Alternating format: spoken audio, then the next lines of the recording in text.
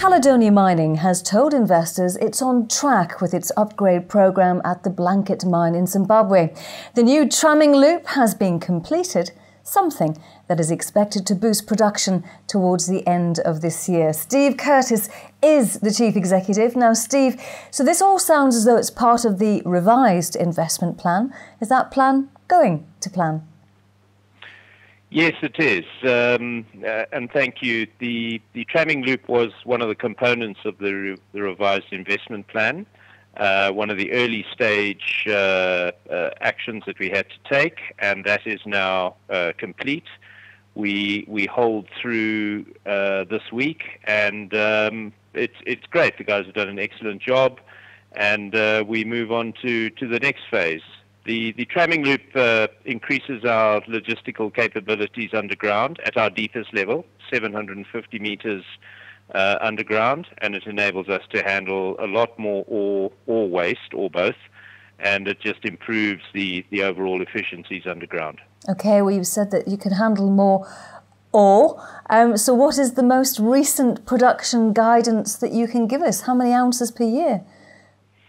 Well, we have guided that uh, uh, 2015 will be will be about 42,000 ounces, similar to last year, and uh, we're continuing with that guidance. This is a this is a year of a bit of housekeeping, tramming loop being one of the issues, and um, so 42,000 ounces for 2015 is is what our what our target is.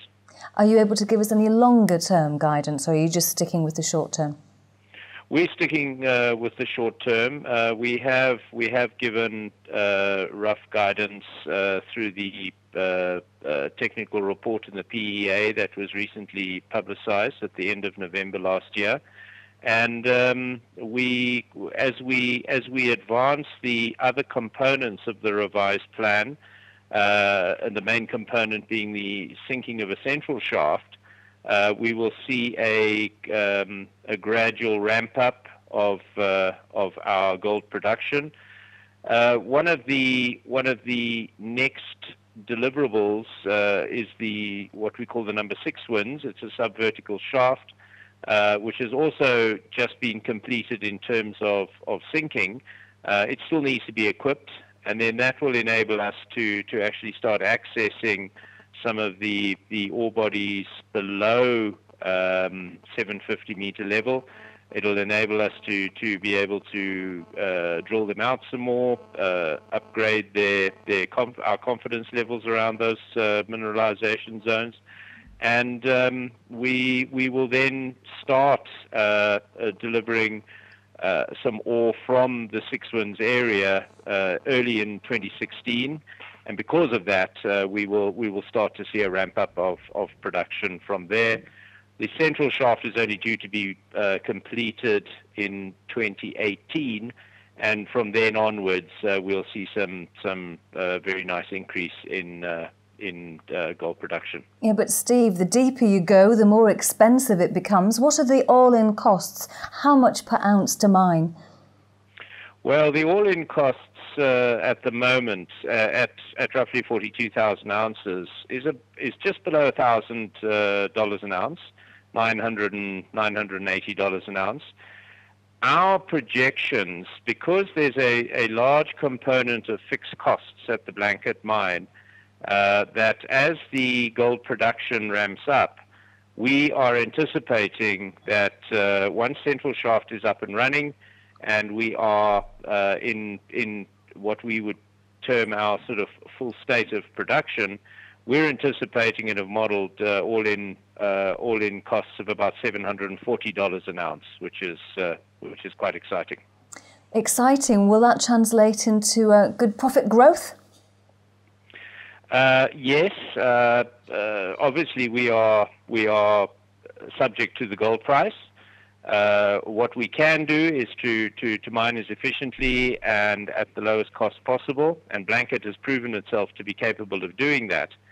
Um, so when we have when we have ramped up our, our gold production, and our target our target production by the time uh, the central shaft is is operational is in the region of about 80,000 ounces a year.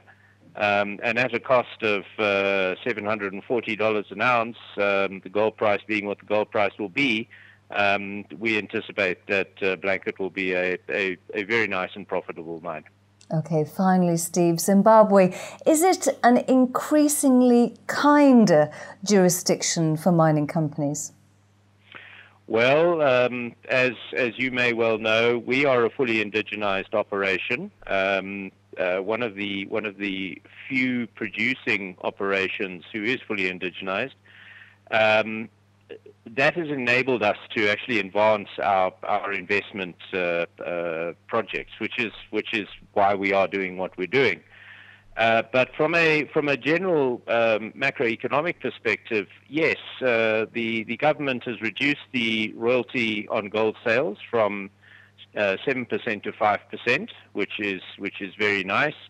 Uh, we also sell our gold through to the national refinery, and the early settlement discounts that uh, that they have been taking taking has also been reduced from one and a half percent to one and a quarter percent. So our our metrics around doing business uh, have improved. They they have moved in the right direction for us. So we are we are very comfortable doing business in Zimbabwe. Steve Curtis, Chief Executive of Caledonia Mining, thank you very much indeed for joining us. Thank you.